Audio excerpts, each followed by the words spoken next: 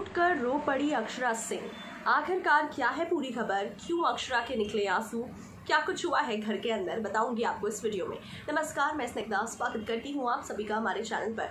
Bigg Boss O T platform पर आपको बता दूँ कि एक से बढ़कर एक घमासान हमें देखने को मिल रहे हैं। जहाँ एक और आपको बता दूँ कि प्यार, मोहब्बत, दोस्ती, ये सब के फेजेस हमने देखे लेकिन जो झगड़े हैं, वो कभी खत्म होने का नाम ही नहीं लेते। जैसा आप सभी को पता है कि मैंने पिछले वीडियोज़ में भी बताए थे कि कैसे अक्षरा और जशान के बीच लड़ाई हुई ड्यूटीज़ को लेकर। और वो बात इतनी ज़्यादा बढ़ गई कि अक्षरा और जशान दोनों एक दूसरे को धमकियाँ देने लगे। यानी कि आपको बता दूँ, कहीं ना कहीं दोनों एक दूसरे पर काफ़ी हावी हो गए थे। और यहाँ तक कि अक्षरा ने ये कह दिया कि तुम्हें लड़कियों से बात करने की तमीज़ नहीं है। वो बिल्कुल चिल्ला चिल्ला कर वहाँ पर लड़ती हुई नज़र आई और फिर उनका इमोशनल ब्रेकडाउन हुआ और अक्षरा फूट फूट कर रो पड़ी।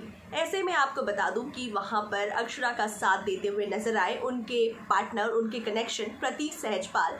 इसके अलावा निशांत भी अक्षरा का साथ देते हुए नज़र आ रहे थे। निशांत का कहना था कि जिशान बिल्कुल गलत कर रहे हैं। दूसरे की कैप्टनसी के दौरान निशांत अपने जिशान अपने अकॉर्डिंग काम करते हैं। लेकिन यहाँ जब जिशान की खुद की कैप्टनसी की बारी आई तो वो अक्षरा को ऑर्डर्स दे रहे हैं। ये बिल्कुल गलत है। तो निशांत भी दे रहे थे अक्षरा का साथ। यहाँ तक कि प्रतीक को एक्सपेक्टेशंस थे नेहा की तरफ़ से कि नेहा आकर अक्षरा को चुप कराएँगी, उन्हें पैम्पर करेंगी। लेकिन नेहा ने ऐसा कुछ नहीं किया, जहाँ पर जाकर प्रतीक ने उनसे सवाल किए, जिसमें नेहा ने साफ़ तौर पर कह दिया कि अक्षरा बिल्कुल गलत है और गलत पॉइंट्स पर चिल्ला रही है। तो मैं उसे बार बार क्यों मनाऊं? तो यहाँ पर कहीं ना कहीं आपको बता दूँ कि अक्षरा के सपोर्ट में हमें प्रतीक और निशांत ही देखने को मिले हैं। बाकी सब के सब सिर्फ़ और सिर्फ़ लड़ रहे थे। सो वेल गाइज़ इस लड़ाई का अंजाम क्या होगा? आपको क्या लगता है? हमारे कॉमेंट सेक्शन में ज़रूर बताएँ। तमाम बॉलीवुड और टीवी दुनिया से जुड़ी हर एक खबरों के लिए देखते रहिए हमारा चैनल